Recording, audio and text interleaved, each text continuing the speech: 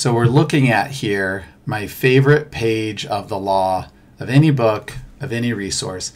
Uh, you actually can't find this online. It's only in a book called a digest. You don't need to know that. But the West Company, Mr. West, back in the 1880s, he took all of the law and broke it down to seven categories.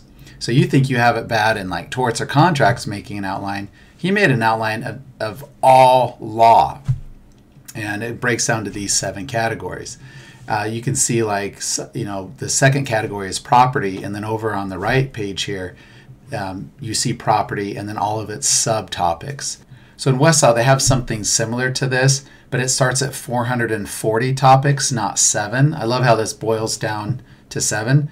So if you go into Westlaw and just type key number system, and then it's called the West key number system, just click on that and the beauty of this, which I'm going to get to a little more in the next video, is if you find your topic, this one link goes to everything. Imagine like a spider web. It connects to every document that West has that is on that topic. So if you want to find one thing on pilots or find everything on pilots, you click on pilots.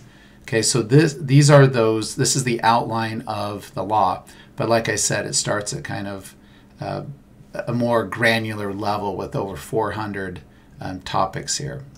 So anyway, so that's the outline of the law. And this will make more sense why I'm talking about this on the next video when you learn about finding cases through this and, and the head notes. So I'll see you there.